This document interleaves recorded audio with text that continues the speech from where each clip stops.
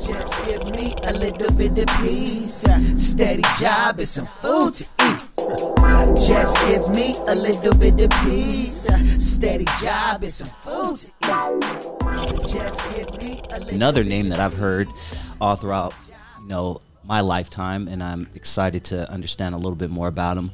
Low key mob boss, uh, who apparently had more power than the mayor. I'm talking about Carlo Gambino. Talk to me about how he became one of the most notorious mob bosses in history. Yes, the secretive boss. Uh, Carlo Gambino is an interesting character. You know, he really flew under the radar throughout his whole mob career for the most part. Um, what really fascinates me about Carlo is, you know, he was a mafioso through and through. Um, and what many other mobsters can't say, Carlo could. He was a made man in Sicily at 19 years old. Um, so you could imagine what kind of jobs he was working for the mob out in Sicily in his younger days. Um, and he would really grow into what was one of the many inspirations for Don Vito Corleone in The Godfather. Um, a lot of people try to set their finger on one inspiration for Don Vito, but I think it's a combination of bun- bunch of uh, mob bosses. But that's for another time too. Um, so of course, Carlo is well known for being very secretive. Um, and like I said, he was made in Sicily at 19 years old. So he was destined to become the legendary mob boss that he does. Um, he came to the United States in 1921 illegally, uh, stowed away in a ship and landed in Norfolk, Virginia, where I believe he was met by his cousins, the Castellanos, who one of them most specifically would be Paul Castellano, which would be his underboss and later his successor, who would be infamously whacked by John Gotti at Sparks Steakhouse in New York City. Um, and Don Corley, or excuse me, Don Gambino, of course, not the Don yet, but he was highly respected instantly upon arrival, um, settling in Brooklyn. And he would jump right into Salvatore D'Aquila's organization in New York City and make a lot of money bootlegging, just like many other gangsters did during the Prohibition era. Um, and in the shadows, he would be a part of that young Turk group that I mentioned before um, in the Bugsy Siegel piece, really looking to overthrow the current regime of the mob called the Mustache Pete's, who had an old school mentality. You know, they didn't believe in um, working with other mobs. They, you know, Joe the Boss Masseria, for example, didn't want to work with people. He just he he really, if he could have, he would have taken over the whole country's rackets.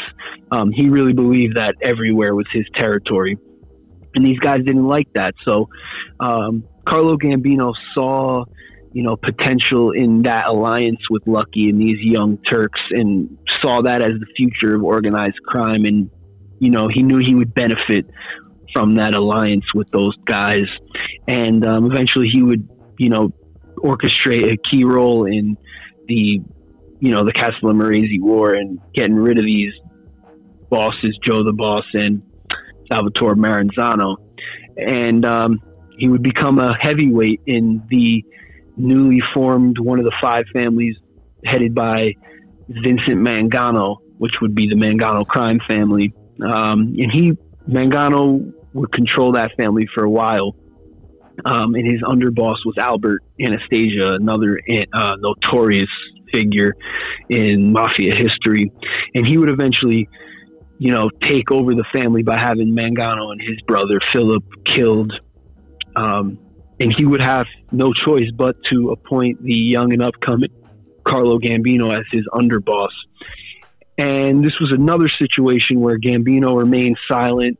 Uh, I believe there was a few instances where Albert Anastasia disrespected Carlo in front of a bunch of guys, and Gambino didn't really, you know, react to it much. He kind of just kept to himself, but he knew what was going to happen in the future, and he teamed up with Vito Genovese while secretly teaming up with guys like Lucky Luciano again and Frank Costello. Um, this is around like the 50s um, to take over his um, family now from Albert Anastasia, who was really bringing a lot of heat to the mob. Um, and you know, Albert Anastasia would infamously get whacked in the in the uh, barber shop, um, New York City, and you know, there's a lot of disputes over that, uh, who, what, who the hit squad was, what the order was, or who gave the orders. Um, I'm pretty sure it was the, um, behind the scenes. It was Carlo Gambino had a lot to do with that. And out with Albert out of the way, Gambino is where he was destined to be, and he becomes boss in 1957 after Albert Anastasia gets assassinated. And like I said, he's always operating in the darkness. He didn't really have much of a national name. His name would come up in papers here and there, but nothing to, you know, give him that notorious reputation like his predecessor, Albert Anastasia, did and some of his other former mob partners. Um, and around, uh, you know, he would, excuse me, to rewind a little bit, he was also part of a lucrative ration stamp operation during World World War II, and that made him a lot of money too, and that put him um, in a strong position. And, and, what was really important to note about Gambino was that he was a huge earner, okay. and that was really why you know he was respected right away. Other than the fact that he was made at 19, which is unheard of. Um, but he would, as boss, expand his family massively into the 60s. And another important thing about Gambino that made him so powerful was that his son actually married the daughter of Tommy Lucchese, another fellow boss of the five family of the five family New York family. Um, and they really combined to, you know, control most of New York City's organized crime with this alliance and this family allegiance. Um, and with the arrest of Vito Genovese, the retirement of Joe Bonanno, and a few other of the major players like Lucky, uh, excuse me, Tommy Lucchese dying um, in 1959. Carlo Gambino is now finds himself at the top of New York City's rackets and is um, established as the boss of bosses. And you know, he really would go on to make like apparently his family about five hundred million dollars a year, all while ruling in within a yeah, all while ruling with an iron fist in silence. Um, no attempts on his life. They say that agents and authorities would be, you know, monitoring his house and stuff like that, and they could never get anything on him, and he would still operate his family with no problem. And that's another point about Carlo Gambino and his secrecy that really just distinguishes him from other bosses. Um, and I forgot to mention too that his that wedding that I said before between his son and Tommy Lucchese's daughter was another scene out of The Godfather.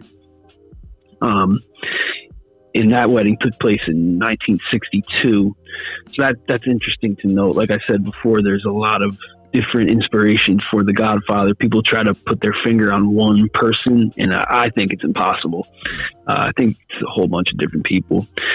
But yep, he would control his family all the way up until his death in 1976 while watching his favorite team, the New New York Yankees, and he would appoint his cousin Paul Castellano as his boss or as the new boss while he was on his deathbed.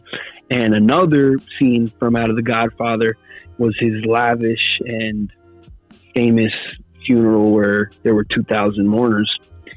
But, you know, if, if you're going to take one thing away about the life of Carlo Gambino, I would say, of course, he emerged as one of the boss of bosses in New York history and really as one of the most powerful mob bosses ever, but really, you know, working in the shadows.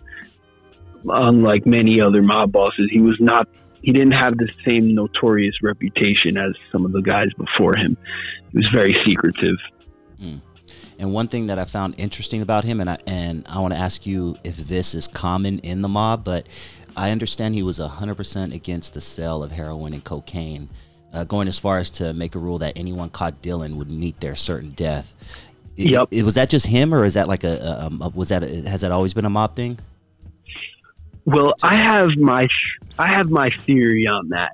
Um, you kind of hear about that from some of the old school mob guys, specifically like Carlo Gambino saying that. I kind of think they said that to get the you know hysteria off their back from you know public outcry as well as the um, pressures from police and stuff like that because you know uh, that the war on drugs has always been around whether you know it's um, what's the word I'm looking for? Apparent or not.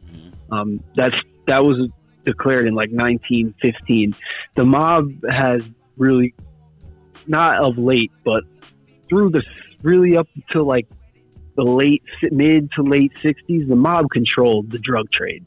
Uh, whether you you know, I, I almost call it a myth um, that the mob wasn't in uh, to drugs. I think Carlo kind of just made that a, a known. So, you know, he said it maybe to put some fear into his guys, yeah, to not do it, but they were doing it, and that made him a lot of money, whether he wanted to admit it or not.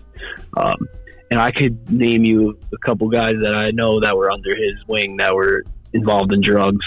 Um, for example, I believe I mentioned him on your show before a huge dealer was a guy by the name of Tony Granza. They called him Tony Scunge, okay. and he actually cohorted with Bumpy Johnson's mob, and they yes. controlled the drug trade in Broadway and parts of Manhattan, other parts of Manhattan, the Bronx and Harlem.